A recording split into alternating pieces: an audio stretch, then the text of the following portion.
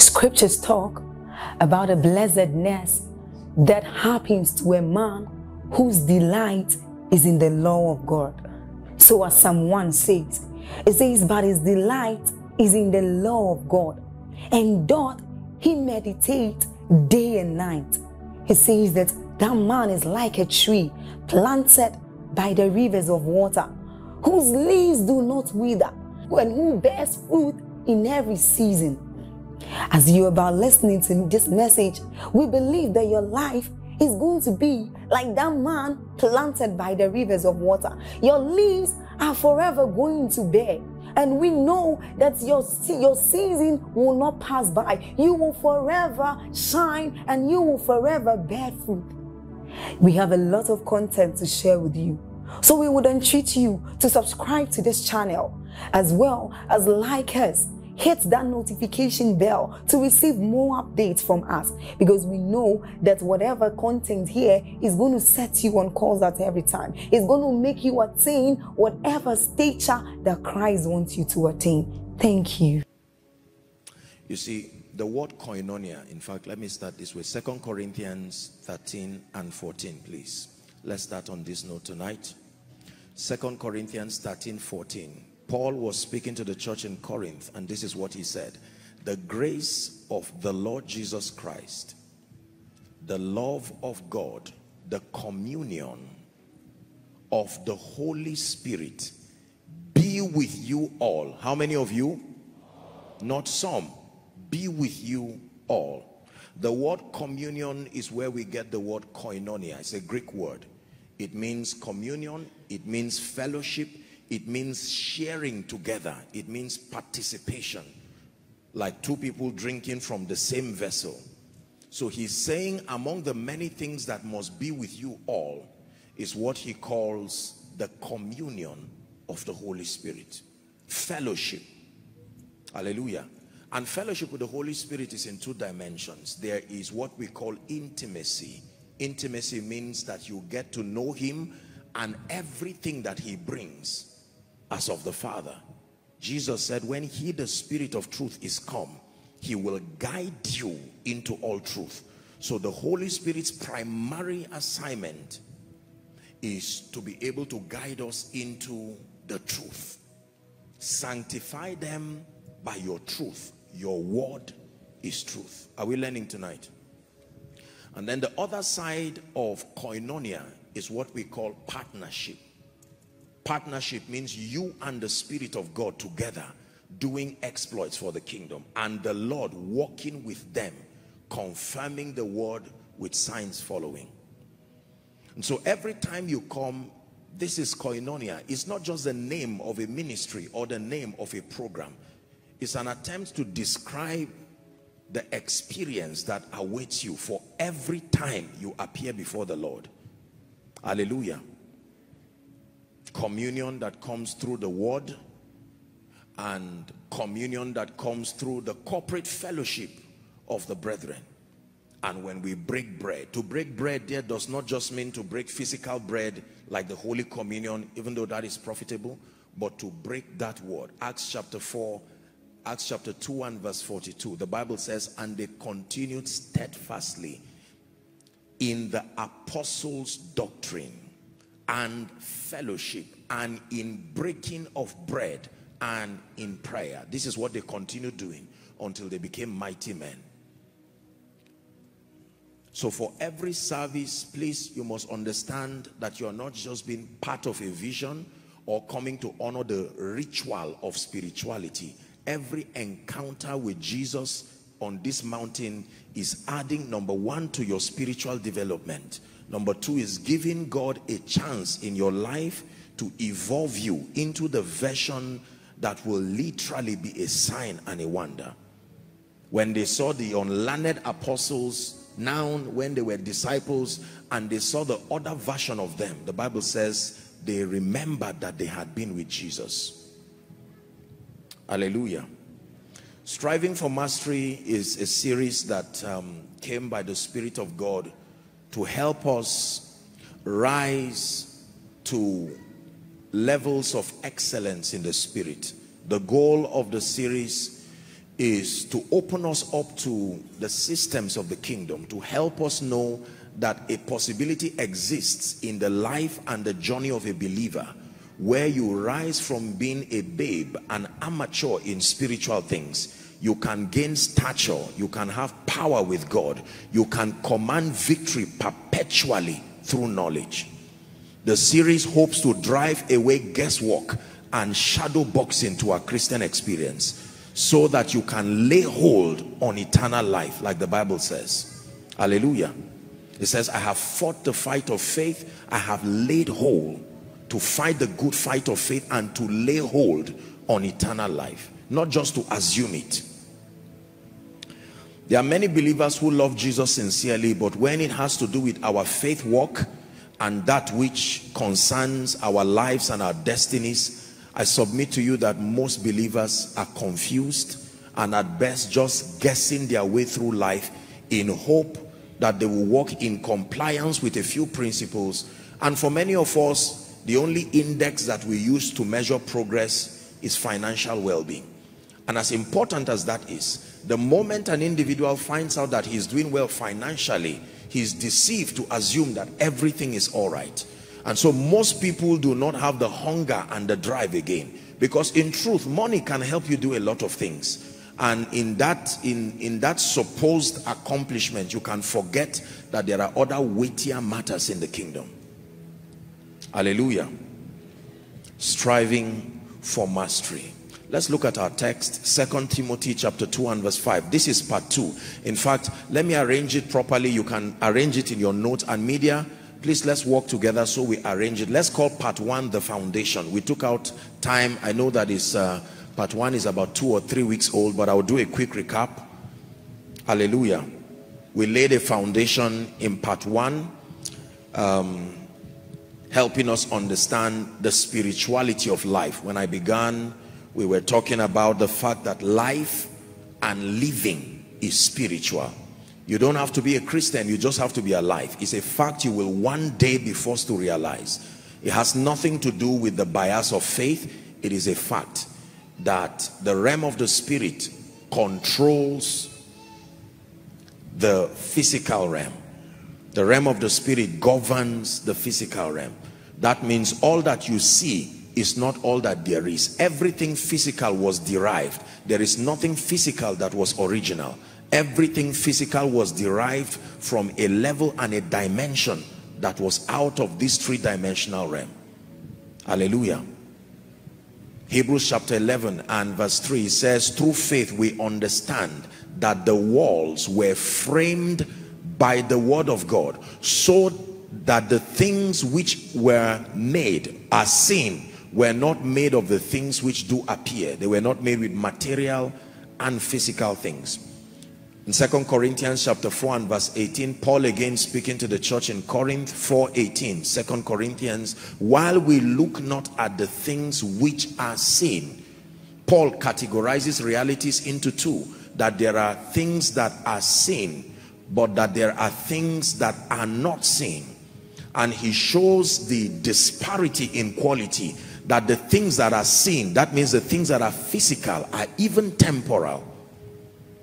And the things that are unseen are eternal or long lasting right so we took out time to set that foundation straight that life is spiritual. You cannot understand the subject of mastery until you first and foremost understand the spirituality of life. Unfortunately believers seem to be latecomers in this concept traditionalists know that life is spiritual most uh, you know um, religions across the world, they honor very vocally the spirituality of life.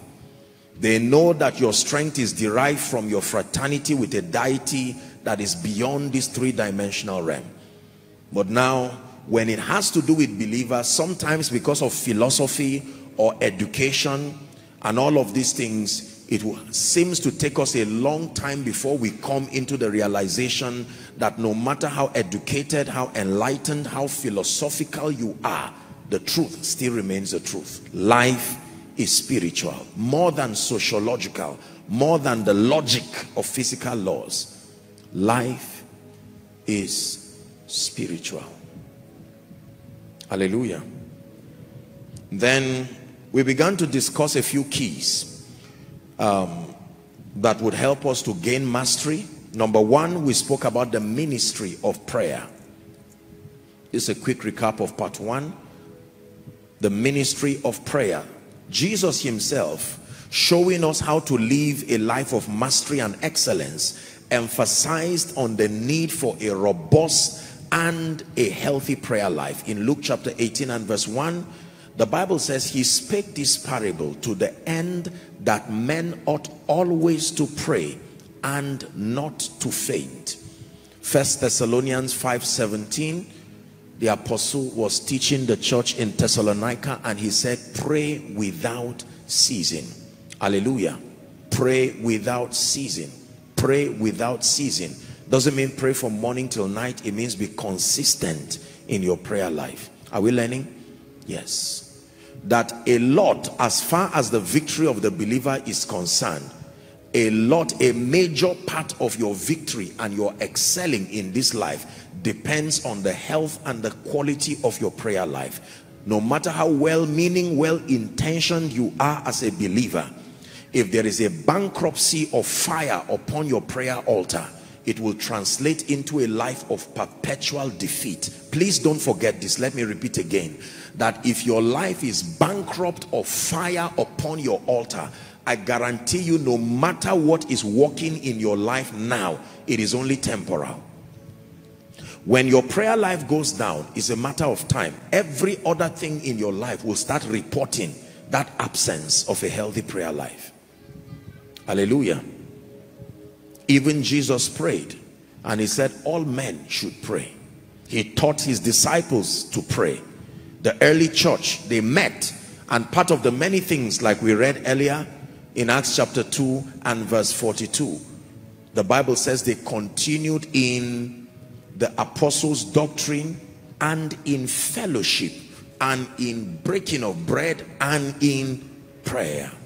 In Acts chapter 6 and verse 4 the bible says there was a little argument between the grecian women and all of that as to the matters of serving tables. And the apostle said do not come and distract us. You get people who we can put in charge of the welfare but as far as we are concerned we will give ourselves continually to prayer. Please keep it there media. To prayer and to the ministry of the word I did teach us um, when we considered part one that there are many dimensions to prayer.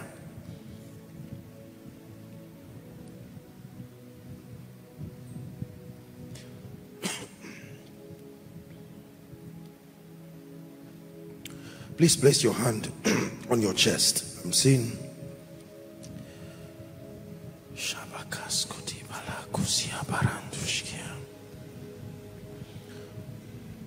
In the name of Jesus the spirit of death by the power that raised Christ from the dead.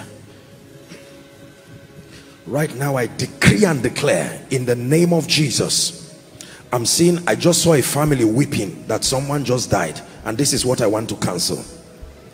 Place your hand on your chest. I decree and declare right now every influence of death please pray in one minute be broken.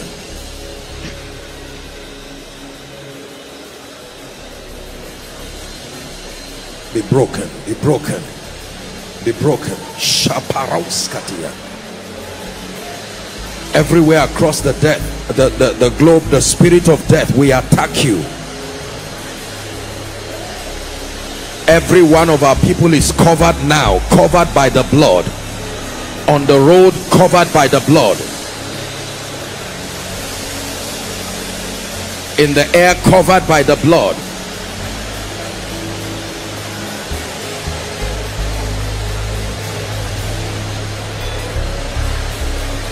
You shall not die but live and declare the works of the Lord.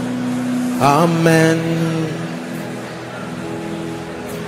You shall not die, but live and declare the works of the Lord. One more time. Sing from your heart. You shall not die. The works of the Lord. Hallelujah. Hallelujah. Please sit down. Just, just allow me do my thing. Two, three minutes, we'll get back to the word. See, one of the things about the prophetic is that if God reveals a thing and you don't respond, it can cost somebody their life at that point. Hallelujah. Praise the name of the Lord. I'm, I'm seeing a writing on the ground and I'm seeing the word restoration. Now, please listen, listen. I know that everybody will say amen, but there are 18 people inside here and outside this prophetic word. One of the reasons why God brought you to service is because there is this plague that makes you keep losing things, losing things. You have lost as individuals, you have lost money, you have lost opportunities. But my God is saying restoration, that anointing 18 people I stretch my hands right now. The power of God will come upon those 18 people and in a very strange way the things that have left you will begin to return. In the name of Jesus Christ. In the name of Jesus Christ.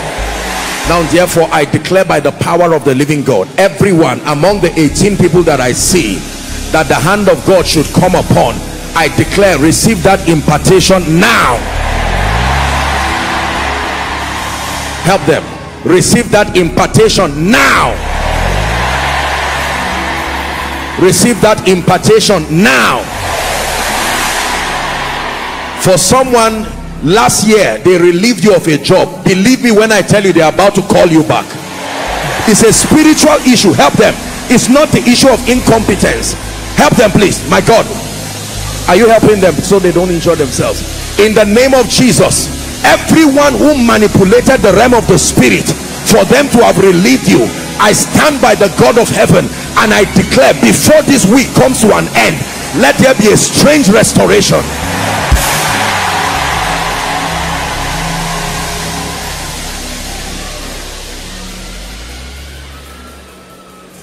The lord is showing me somebody. You are not here but you are having breathing problem. You know how it used to be for covid patients. But this is not covid. This is the spirit of death that wants to take that man. He's a father in a family. In the name of jesus by the blood of the eternal covenant wherever you are whether you are watching here or connecting across the globe in the name of jesus we preserve your life now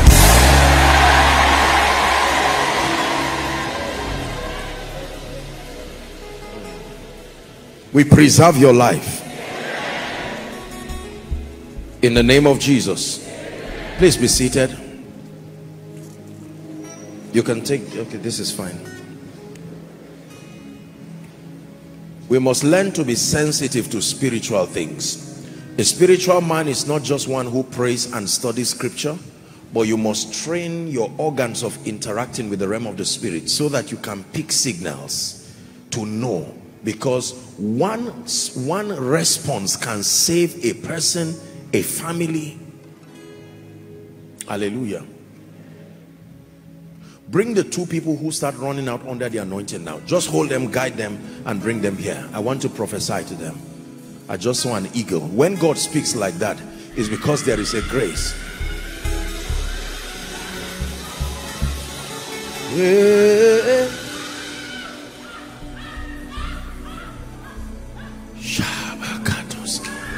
Hmm.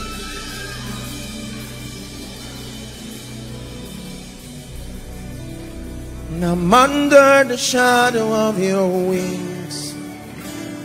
Your influence is all over me. I am under the shadow of your wings. Your influence is all over me. I am under the shadow of your wings. Please bring them. Your influence is all over me. Yeah, I, yeah, yeah, I, yeah, yeah.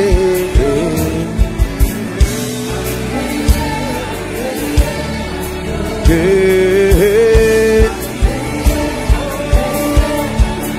Shabalagada prandagada balada.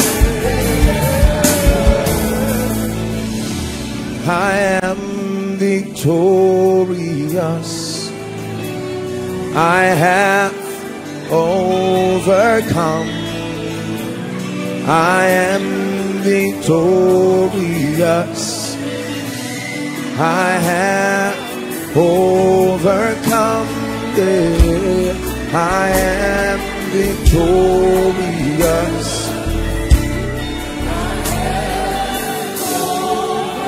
This woman, stand up, please. Madam, the woman at the back of this man wearing glasses. Please tap that woman for me. Stand up.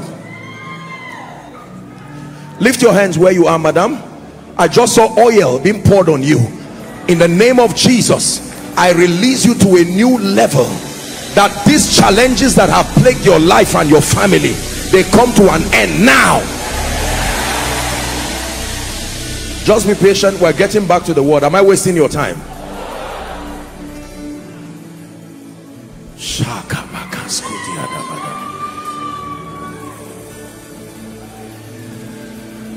Kebarando shalakoska di bradagatabala. Whatever shut the ears of your destiny helper so that they don't hear when the spirit beckons on them in the name of Jesus. Again, I'm seeing 11 people. I know that this prayer is for everybody, but by the spirit of the living God, 11 people, the ministry of destiny helpers have been long overdue. By the anointing of the spirit of God I release help them please. Please whether you're an usher or not just help them so that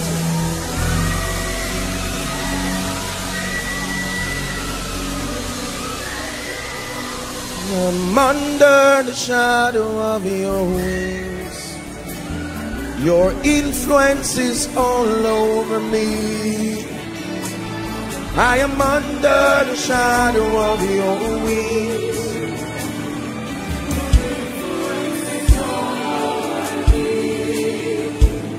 I am under the shadow of your wings.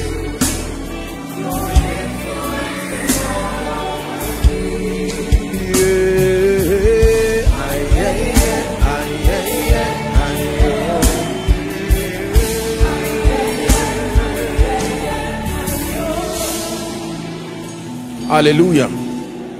Now i'm seeing the number seven. There are many of you listen carefully. Listen carefully. Listen carefully. There were many dimensions you once touched in the realm of the spirit but i don't know what happened to your spiritual life and you lost that dimension. Some of you prophetic dreams some of you revelations. Some of you gave god gave you the eyes that sees. Nothing happens ab above you that you do not see but you lost it like the hair of samson.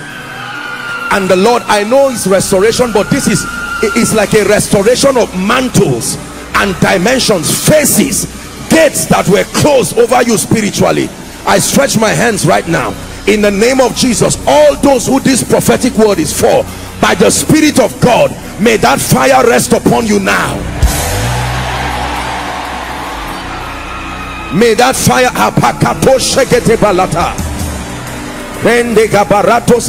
at the scent of water. That's what i'm hearing. At the scent of water.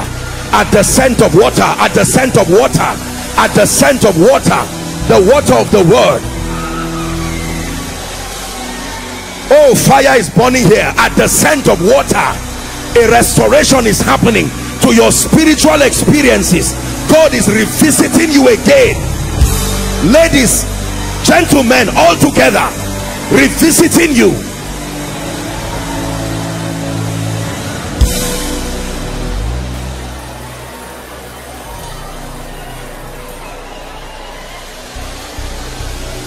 Woe betides a man in this end time who loses his ability to see his ability to hear his ability to perceive. You will be like a dead man in the spirit.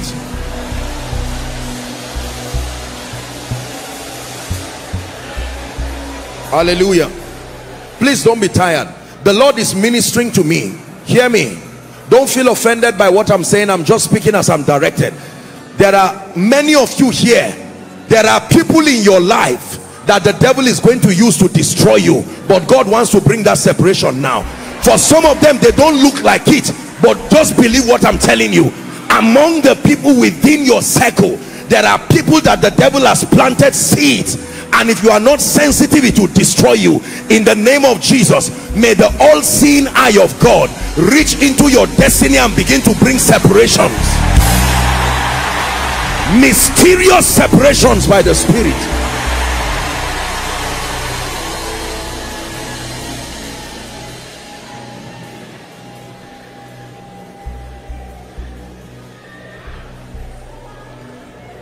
some of you even though we are not declaring a corporate fast but some of you after this meeting don't be surprised when the spirit of god gives you instructions. Wait upon him one day two days three days. Just obey as he comes because there are things where listen we're in a season where sensitivity can mean the difference between life and death. Sensitivity can mean the difference between tapping into what god is doing for the next season or being carnally minded and then you remain grounded.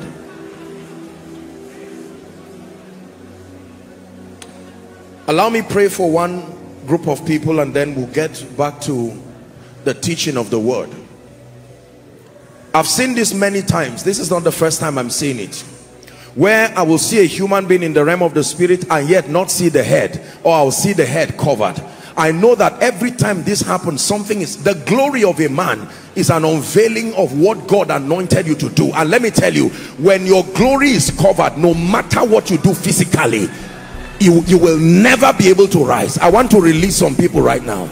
In the name of Jesus Christ even the son of the living God whether by divination by activities of witchcraft everyone here under any kind of siege where your glory your productivity the power of God that which should announce you has been hidden and covered. I decree and declare be loose now. Please help them. Be loose now. Be loose now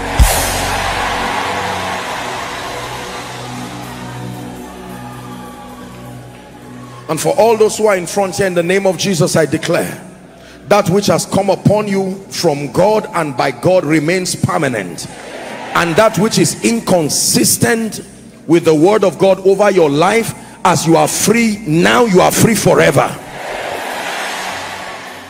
In Jesus name I pray. Please be seated. Thank you so much. Just help them up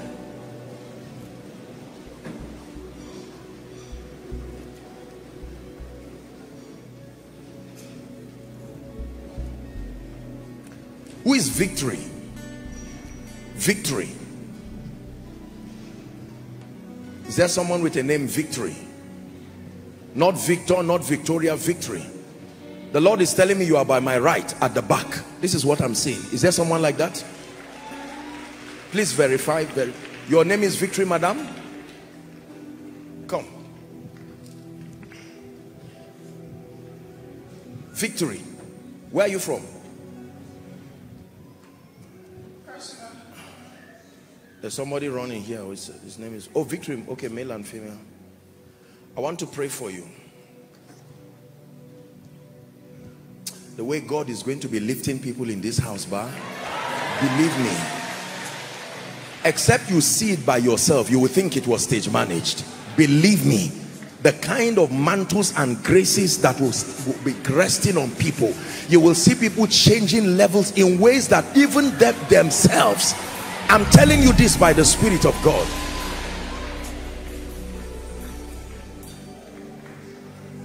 Shalom, shalom, Jehovah, shalom, shalom.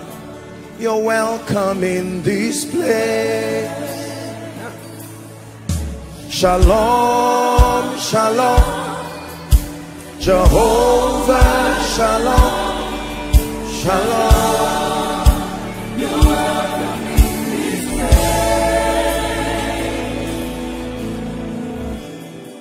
My dear Victory, I pray for you in the name of Jesus Christ.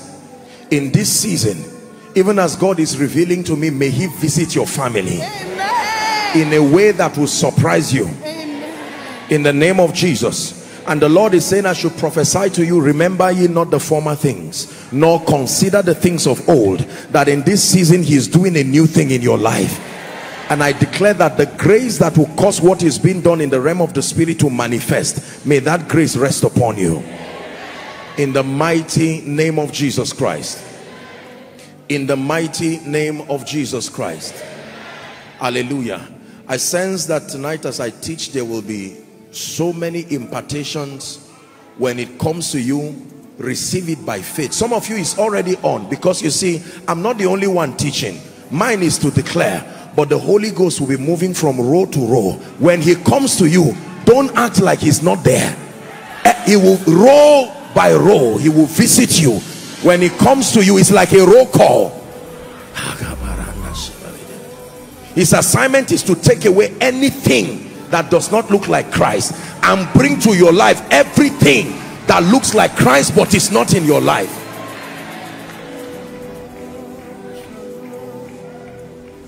Hallelujah. Please sit down.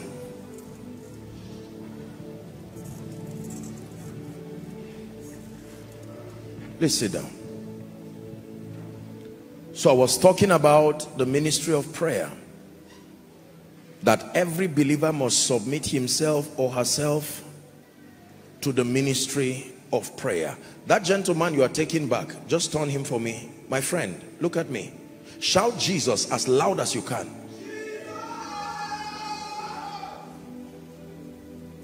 Let that be the end of captivity in your life. In the name of Jesus.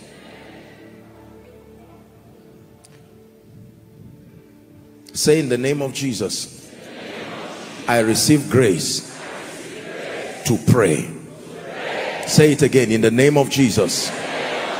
I receive grace to pray. Please hear me. The times that we live in are not times of pray for me. You must obtain grace from God to pray. There are times that Joshua Selman will not be there when the gates stand. You must master the art of prayer in its entirety.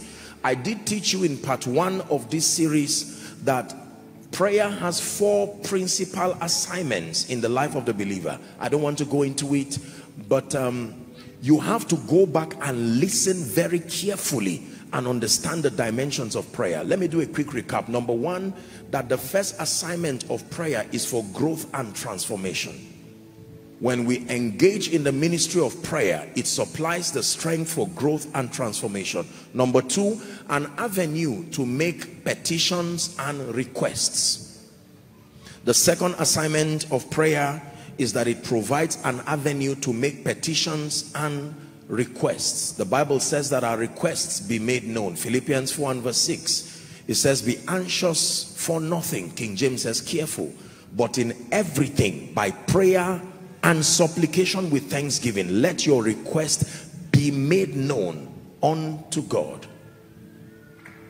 The third assignment of prayer as revealed in scripture is for spiritual legislation. That means we create possibilities, we create realities. The Bible says where the word of a king is, there is power. I prophesied as I was commanded and there was a sound. We can create realities and possibilities through the power of prayer. And finally, the fourth dimension of prayer as revealed in scripture is for warfare and intercession to be able to ward off the arsenals of darkness that fight against our lives and our destinies. You must learn to pray. Key number two, and that's where we left off. I'll take it from there. The second key, if you want to contend for mastery, if you want your life to rise to a higher level of spiritual excellence, is understanding and engaging the laws and principles of the kingdom. This is a long one. Understanding and engaging the laws and the principles of the kingdom. The first key being prayer, if you intend to strive for mastery. The second key is that you must understand and engage. Two very important words. You can understand and fail to engage. You will still not get results. You need to understand, then obtain grace to engage the laws, L-A-W-S, and principles of the kingdom. In Luke chapter 11 and verse 52, Luke 11, 52. It says, Woe unto you, lawyers. Jesus is angry now. For ye have taken away the key of knowledge. The key of knowledge. Ye entered not in yourself, and them that were entering you hindered. Hallelujah.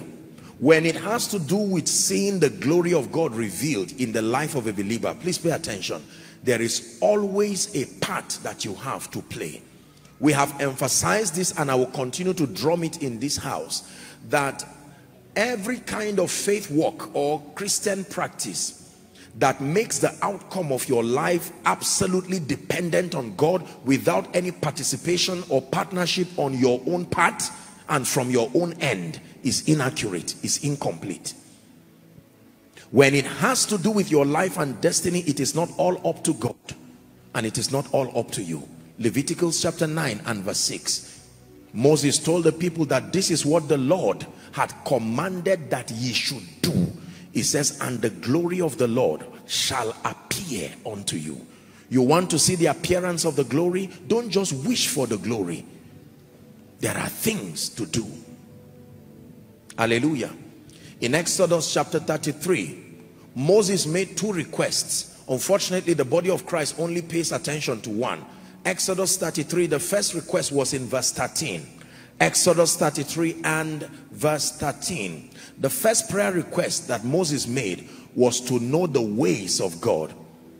I pray thee, if I have found grace in thy sight, show me now thy way, that I may know you. That was the first prayer. Then the second prayer, five verses later, verse 18, he's now requesting, Moses now, in verse 18, I beseech you, show me your glory. So there is a relationship between his ways and his glory. Don't just ask for his glory. You must know his ways. Are we learning?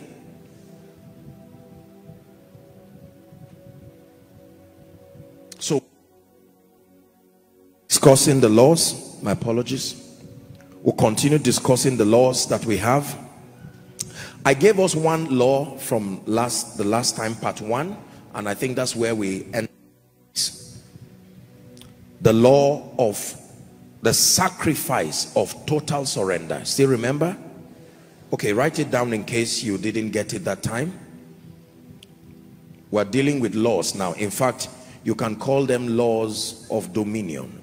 That's under part two now. So part one, you can call it the foundation. Part two, striving for mastery in bracket or under the laws of dominion. The first law that I gave us in part one uh, is the sacrifice of total me. Technical? Praise God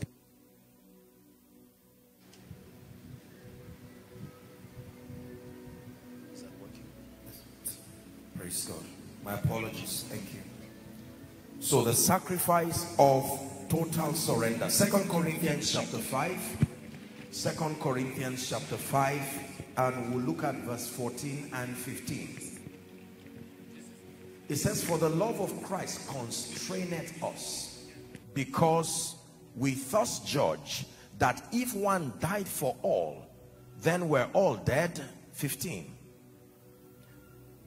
and that he died for all that they which live should not henceforth live unto themselves but unto him which died for them and rose again so that Jesus died for you and in his mind He believed that if you acknowledge or you recognize the depth of sacrifice he made for you, it will no longer be an inconvenience for you to also respond thus to him. You get what the scripture is saying now? That in his mind and in his thinking, he gave everything for you. First because he loved you, but then in hope that if you really understand the extent of his sacrifice, you would also be able to make whatever sacrifice it takes. The sacrifice of total surrender. Most believers want to gain mastery. They want to command power with God. They want to excel at extraordinary levels, but they violate this first law. The first law of dominion, as far as gaining mastery is concerned, is absolute surrender. Not just what you do, who you are. You must assume a state and a posture in the spirit where your life is completely surrendered. I think I've said it in this house that um, when you come forward to what we call giving your life to Christ in in in reality you are not giving your life to Christ when you come forward to be saved. You are receiving his life. Are we together? Because there's something wrong with that life. That's why you are coming for another one.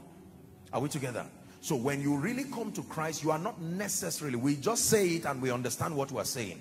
But from a theological standpoint now the the person about to be saved is not giving his life to Christ. He's receiving the life of Christ giving your life to Christ is an activity of surrender that prepares you for service.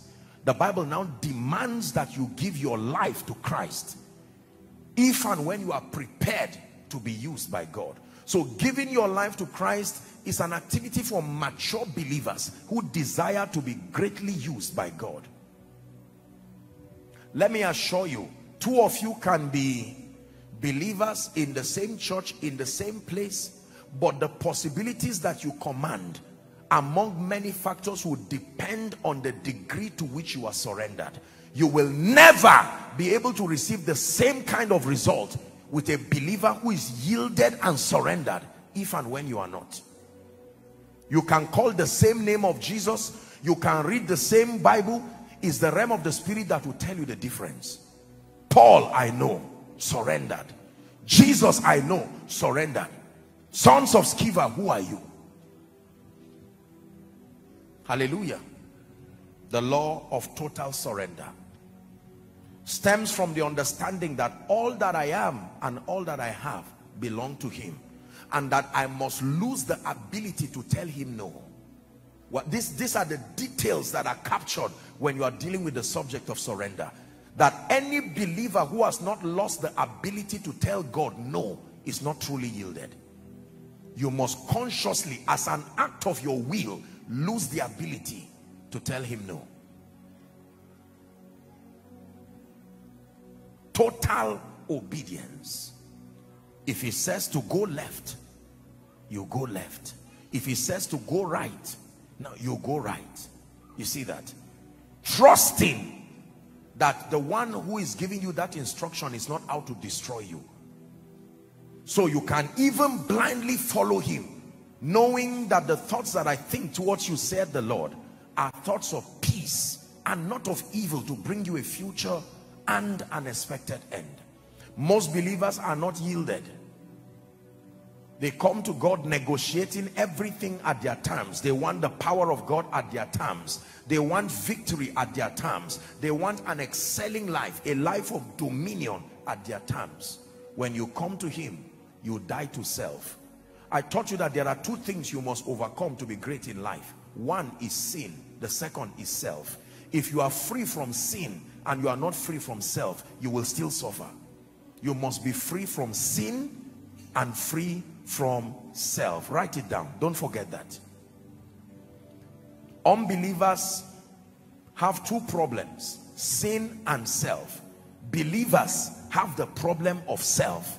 And let me tell you this, with one confession of truth, the issue of sin is done by faith. But it does not take one confession to deal with self. When it has to do with self, it is I die daily. Is someone learning now? Yes. Sin, there's nothing you can do about it. it. It takes God to forgive you and cleanse you. The Bible says if we say we have no sin, we deceive ourselves and the truth is not in us.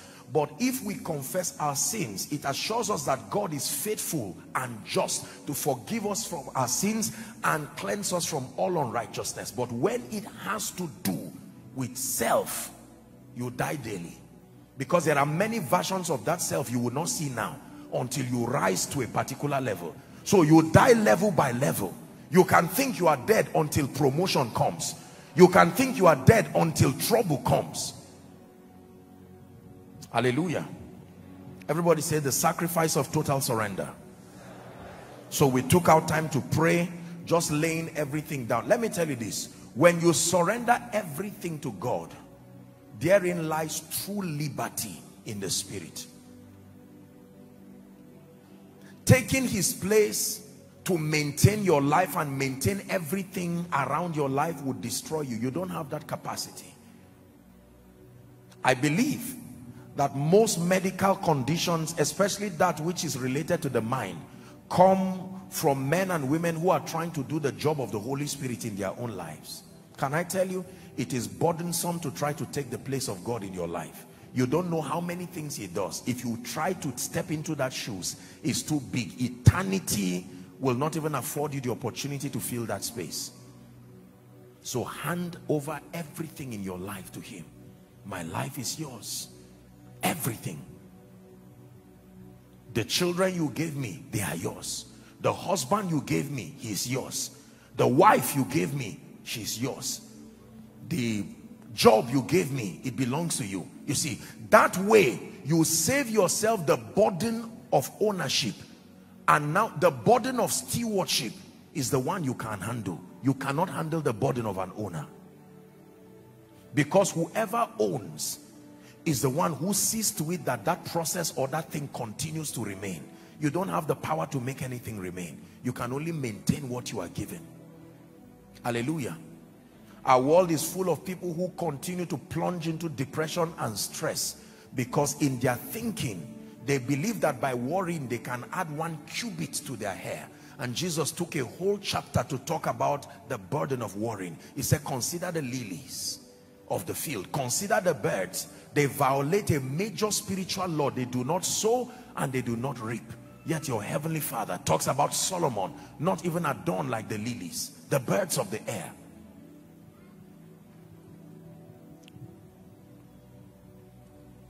May the Lord help us to live truly surrendered lives. Many of you have given God everything except your finances. God can touch your heart, touch your praise and worship, touch everything, that's fine. But once he comes near your wallet, comes near your bank, you tell him, go away. You don't know anything about finances. I was trained. And he says, okay, that's fine. Let me tell you, anything you drive God from, you automatically invited Satan into it. Anything.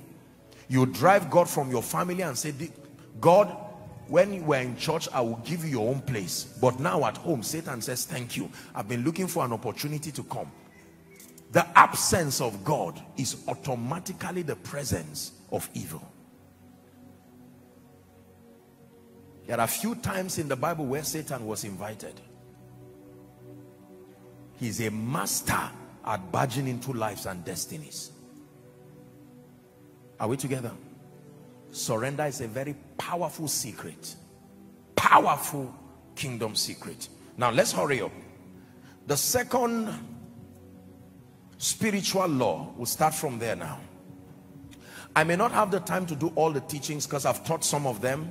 There are just a few things that I want to achieve and then we'll hopefully have the time to pray. Please open up your heart to learn.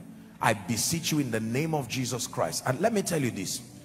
I, I don't mean to insult your pedigree, but I, I submit to you by the privilege of God's mercy that if you pay attention to the things that I teach you week in, week out, I give you a guarantee by the integrity of God, your life will be nothing short of a sign and a wonder. You may not look, no, no, no, no, don't say amen. It's a commitment. Um, it's a burden, a responsibility that you have to, amen for the grace. Yes, you have it. But you must be committed to listen. Hallelujah. the truths that I share with you, number one, they are not my ideas, an invention of my mind. That would be evil and wicked. Number two, they are not vain babblings and philosophies of men. Believe me, the truths that I share with you, number one, they are scriptural. Number two, they are time-tested principles from scripture and in the life of uncommon mentors and successful people across the globe. You can rest in the fact that the spiritual menu you are receiving is not that which will destroy you. But it is up to you to open up your heart to receive holistically. Don't just cherry pick what you think is relevant. You see, your own assignment is not to tamper with the equation. Trust the one who has led me to prepare that spiritual meal and take it holistically. Most believers, sadly, especially those who do not yet have results or notable results, are usually the ones who tamper with the equations they are given. Are we together? Yes. So your heart must be open. We're not the first to succeed. We're not the first to rise. We're not the first to intend to do something that brings glory to the name of the Lord. Many have gone before us. There are still others before us. And the Bible says to follow them who through faith and patience have obtained the promise. Law number two, the law of mental transformation. Let's hurry up now. I'll just touch on them very briefly and then we pray. Whoever told you that your mind does not have a role to play as far as gaining mastery is concerned. I shared with you my own experience that probably based on my background and my the level of spiritual exposures at that time. We were not really taught when I began with God, the emphasis was the health of your spirit man. And I think it should be so in that order. Are we together? When you begin your spiritual pursuits, the emphasis should be the health of your spirit man. Not just philosophies and laws, in fact, encounters. We started with encounters, our press towards God, our need for the Holy Spirit.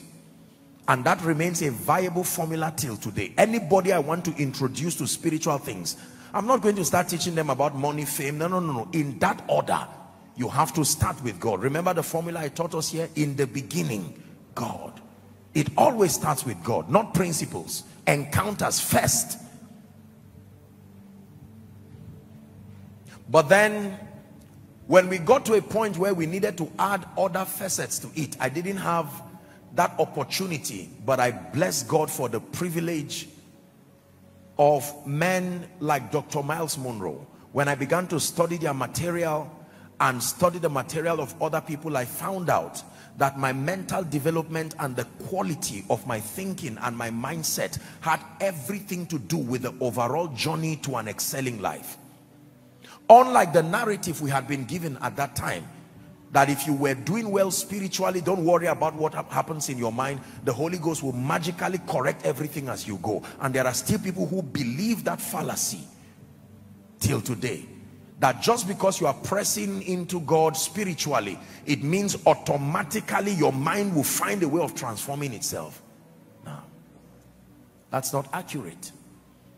Even if it's a thought that comes from well-intentioned people, you have a responsibility to walk with God and understand that your mental construct has everything to do with the kind and the quality of life that you live. I think it was um, Bill Johnson who wrote a very powerful book many years ago, The Supernatural Power of a Transformed Mind.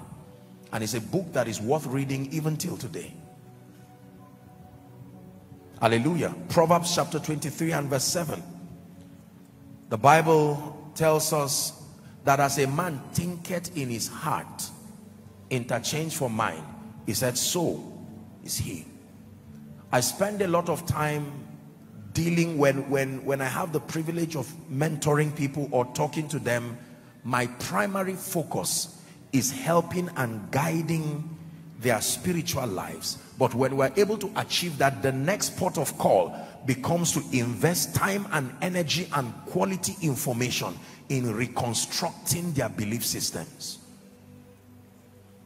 I've taught you in this house that most of us derive our thinking and our mindsets from culture primarily. The cultural experiences that we've had are shapers of our understanding.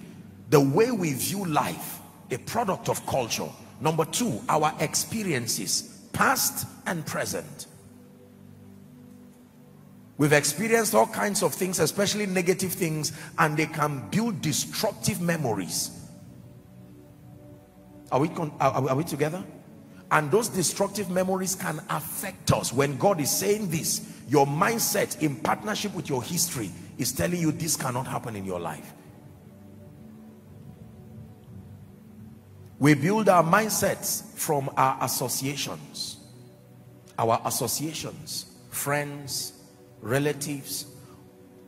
The implication of friendship is that subconsciously when you bring people um, close to your life what you are saying is that you are submitting yourself to their own ideologies too. Are we together? I've taught you that if there are five wise people in your life you didn't count well. There are actually six. You being the sixth. And respectfully speaking if there are five foolish people in your life you also didn't count well. There are actually how many if there are five prosperous people in your life your closest circle of friends there are six prosperous people. If there are five defeated mediocres flattering themselves competing with one another prepared or not you must know that you are also part of that competition. He that walks with the wise the bible says shall be wise himself. It says but the companion of fools shall be destroyed. So we derive our mindsets medical science teaches us that children at birth or humans are programmed in two ways. Number one is genetic programming as it comes from their parents. But the second and more important programming is called environmental programming. Are we together? When man fell the first question the lord asked him when he said where are you? He said i heard your voice but i hid because i was naked. Next question who told you you have submitted your ears and your influence to another entity. The failure that you have embraced in your life came as a result of a programming. There are many people today listen i have seen so many people tongue talking people and sometimes anointed men and women of god. And sometimes when they see me do the things that god does through me you know the, most of them will rejoice but believe me, they do not know that there is an ancient stumbling block resident within their minds that makes them believe that it's impossible for God to use you that far. Hallelujah. Yeah. There are people today, the limitation to your exploits in the spirit and even towards gaining mastery has nothing to do with a demonic attack. All the spirits have been driven, yet you are still failing. You know why? Because there is a stumbling block there is something that has been programmed in your mind that you can't go this far. But by this teaching in the name of Jesus that stumbling block by the power that raised Christ from the dead let that stumbling block depart from you now. When I began my walk with God my life was full of visions and I submit to you some of them I've seen them happen already some are still on the way happening and others are yet to come. But when i saw some of these visions you can imagine at that level starting naive in spiritual things on many grounds. And seeing god show me all of these things it was up to me now to believe god can you do this with me? To the nations across the globe? Thank god for the mentorship of great men like dr Myles munroe who challenged me and made me know that it is possible. I told you, ambitiously, I wrote a letter to several men of God when I was starting in Nigeria, across Africa. I took that step of faith. I, I can't even remember what I wrote. I just wrote and told all of them, God called me. What do they have to say? How can you guide me? And to my greatest shock, I was called at the post office that there was one reply waiting for me. And I went there and opened that letter and this was Dr. Myles Munroe. Wrote it handwritten.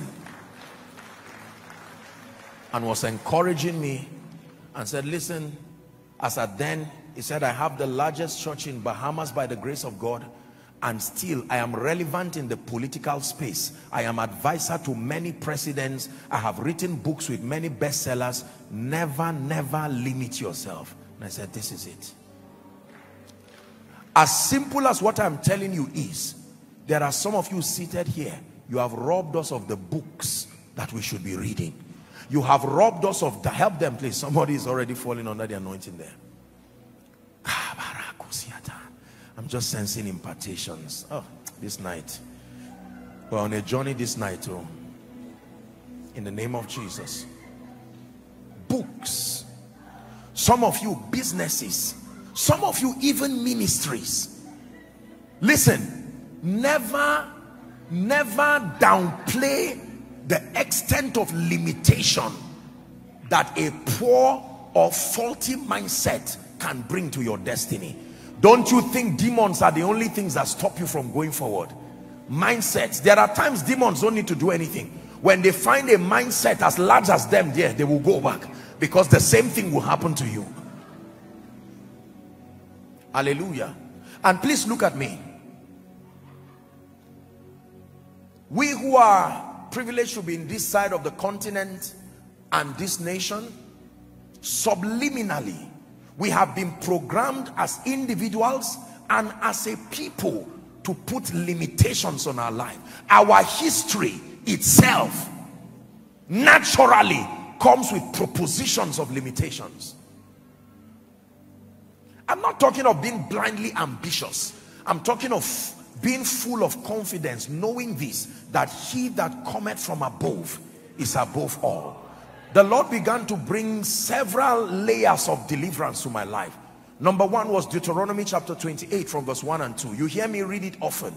That it shall come to pass if thou shalt diligently hearken to the voice of the Lord to observe and to do all his commandments which I command thee this day that the Lord will set Joshua Selman on high above how many nations?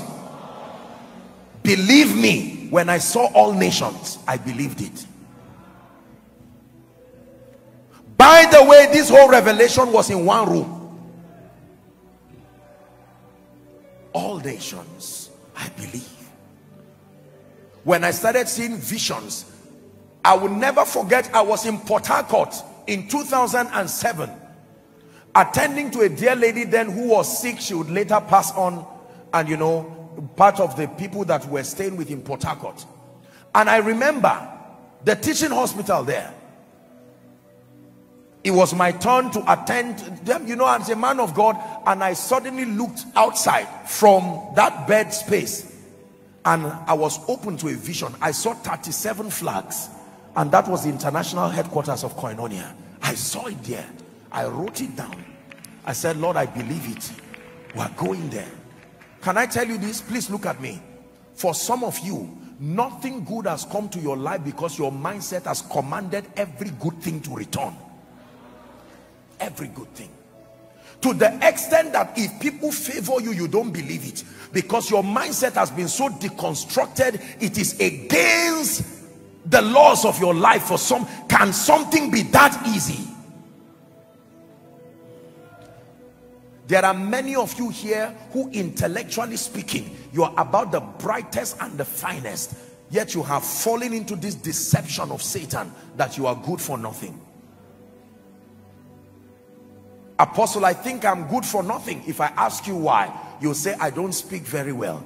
Uh, my English is this and that. Give me another reason. I come from the village, you will say. My grandmother is in the village. My grandfather is in the village. I was born and bred in the village drinking well water. What has that got to do with a glorious destiny? Can i tell you? You can choose to be in egypt and yet be thinking canaan. In fact you have to think canaan to go to canaan.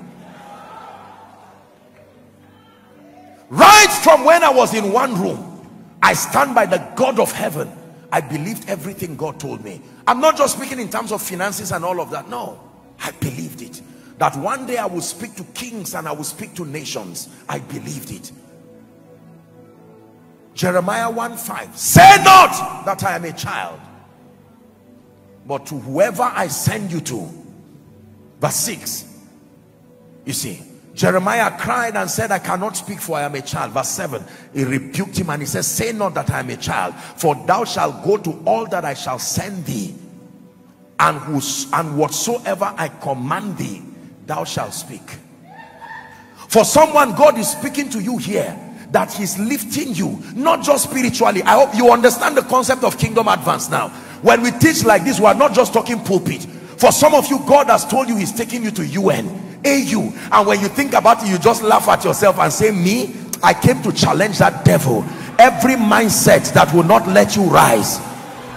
Ill speakings of men that kept putting you down. I curse it right now in the name of Jesus. Please sit down. Unfortunately, sadly, but unfortunately, many of us probably came from families where it was a norm to speak words of discouragement.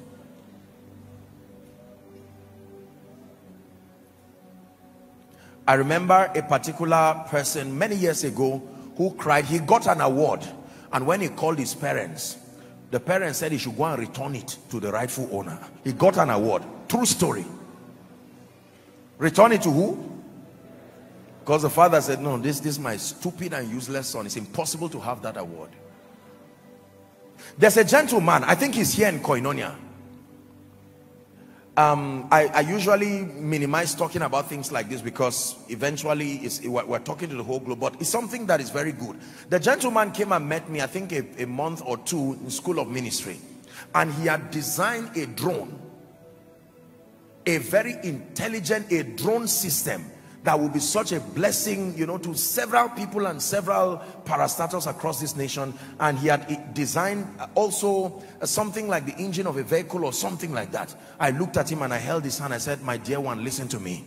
No matter what happens let me give you two confessions. One it's going to be difficult to rise to the top. Go and read my listen to my message this grace called favor. Because in nigeria you need favor not just skill to rise Number two, I told him, no matter what happens, don't give up on your dreams. How many times have you seen people who produce results that were far less than you know what you know you could do and yet you are forced to clap for them because their mindsets were more superior than yours not because they had a better idea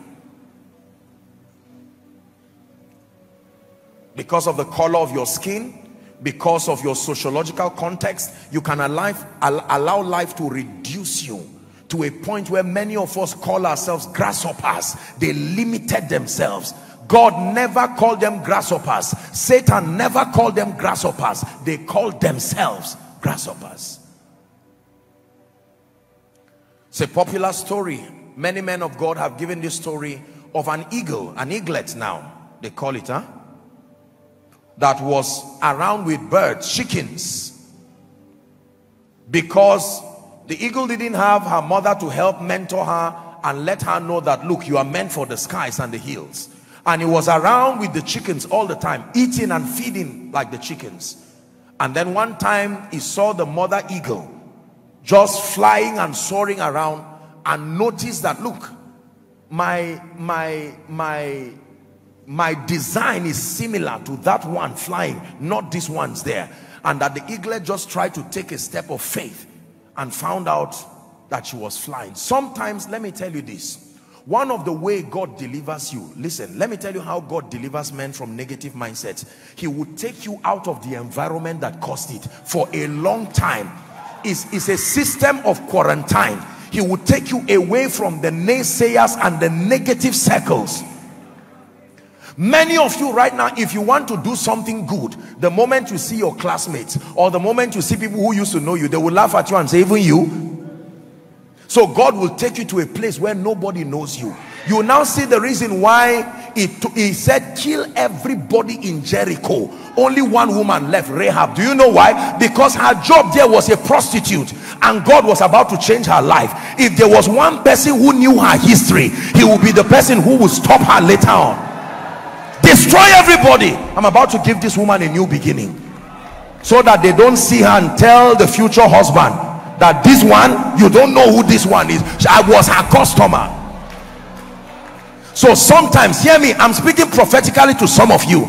Because there are some of you for god to help you he will have to take you out of that environment that negative environment where you keep receiving ill speakings and quarantine you in a spiritual environment like this where you keep hearing faith-filled words.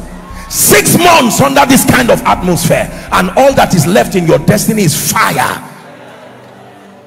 Burns every mediocrity out of your life.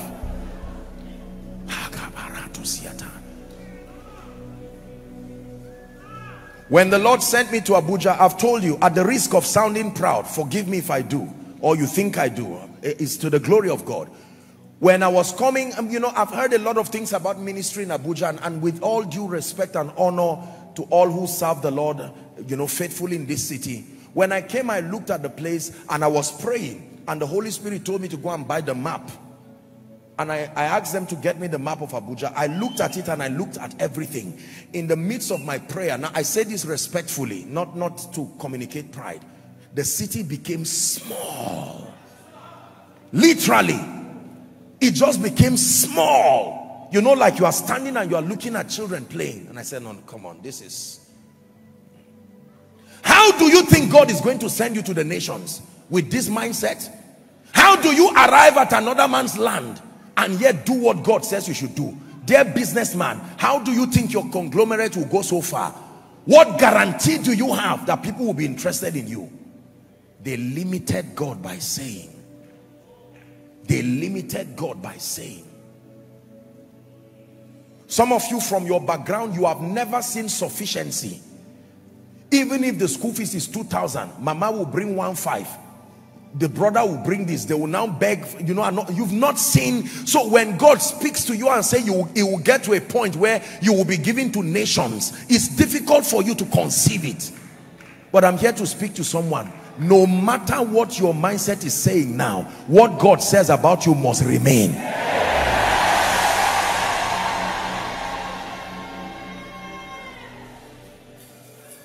hallelujah let me encourage you. See, there is no need living a fake life. Don't fake what can be real.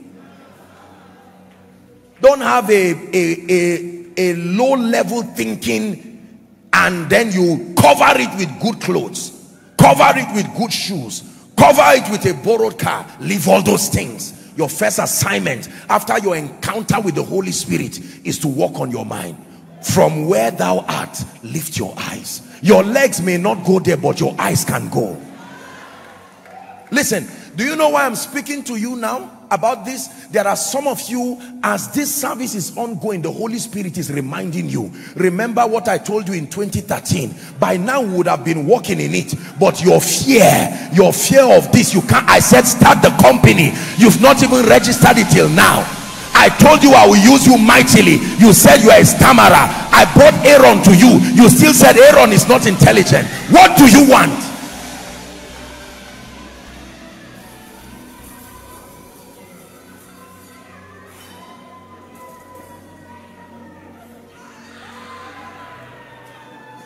There is nothing you cannot do.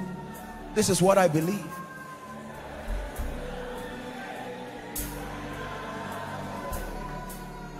If you have said it, then you will do it. You have a track record of keeping your word, you're not about to stop Hear me, listen to me. You may trek after service to go back home, trek with honor while your mind is buying the cars. There may be five members in the church now. Don't worry. You don't need to fake figures and live a fake life. It's unnecessary. While you are there let your mindset be in that crusade ground winning souls in their multitudes for jesus. Dear esther you may be in shushan but let your mind be in the palace. Dear joseph you may be in prison but let your mind sit you on the throne.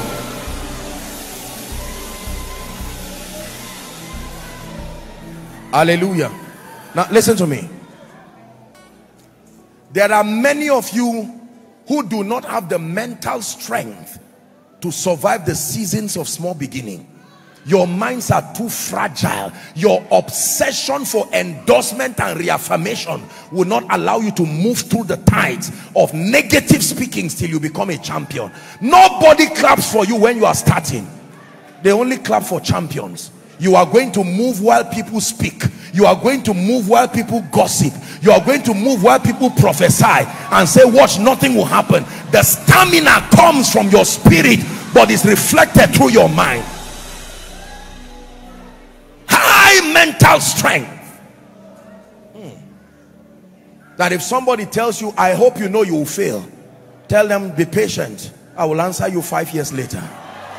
And you have that stamina. Listen unfortunately today we live in a social media world where people are under so much obsession to be right nobody wants to ah, no champions are not like that they are focused and determined the smoke that rises from the celebration of your result is an answer to the naysayers. You just keep moving. Apostle, I never saw my father build a house. Right now I'm 41, I'm 45. Is there hope for me? It is not lack of cement or blocks or concrete. I assure you, the house has not been built here. You have received a speaking that I am in Abuja and we are here to manage, we are here to live defeated lives. Do you know there are people who it is not the government that has stratified them, they stratified themselves. As soon as they stepped into Abuja, even if they have 100,000 in their account and they are late to take a Bolt or Uber, they will feel guilty. They'll say, no, no, no, you know what? We are not for, it's not for Abba.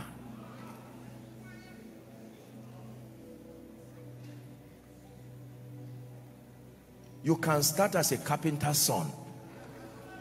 But there was a time they stopped calling Jesus carpenter's son.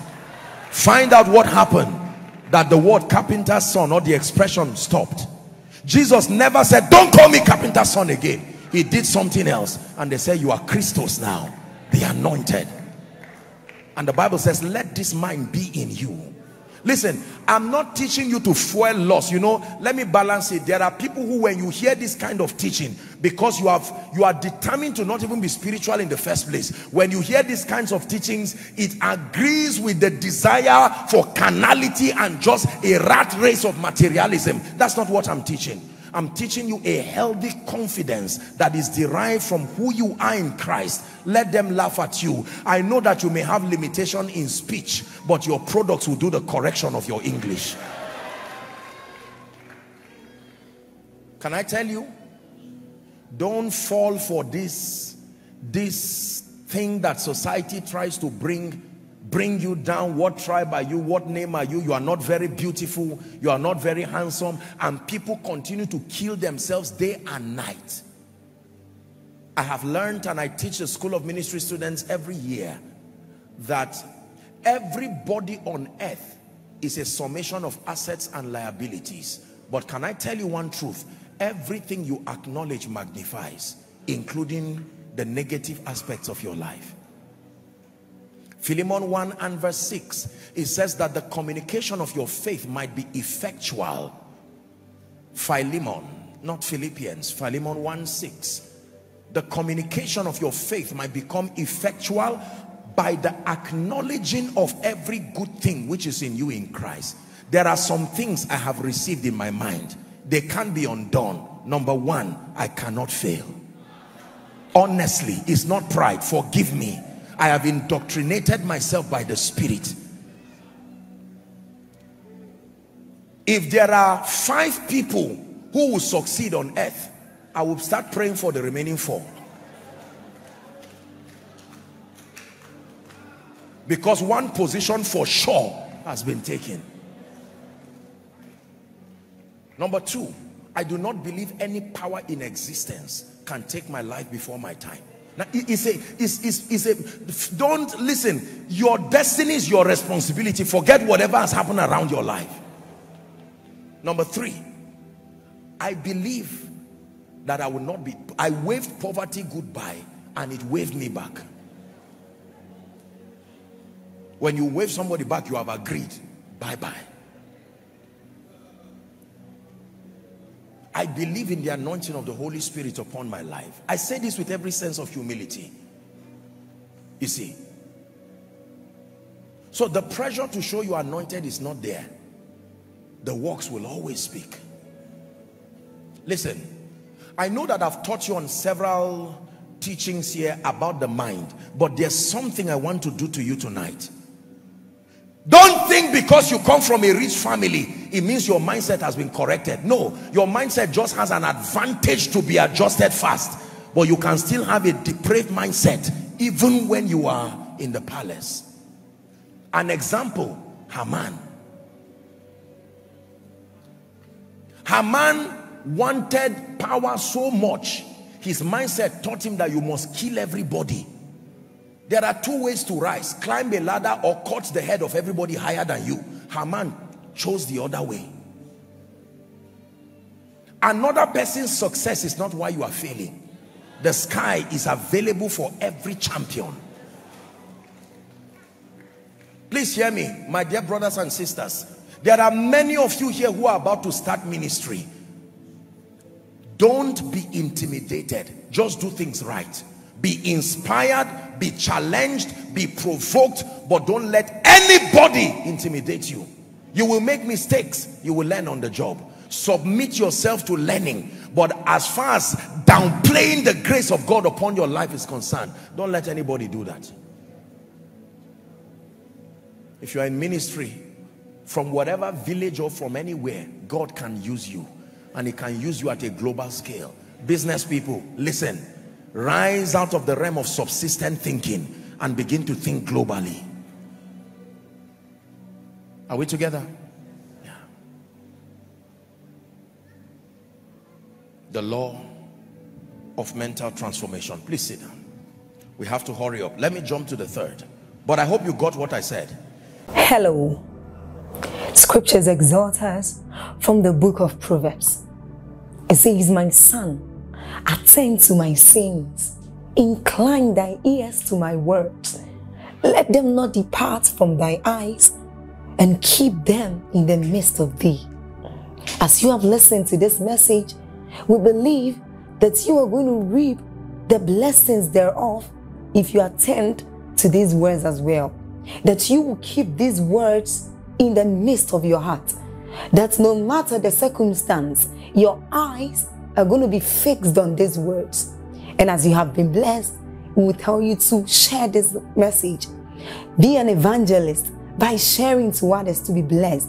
And then subscribe to this channel for us because we have loads of videos. We have loads of content that is going to make you blessed. That is going to set you on course. That is going to set you ablaze. And don't forget to like for us. Thank you.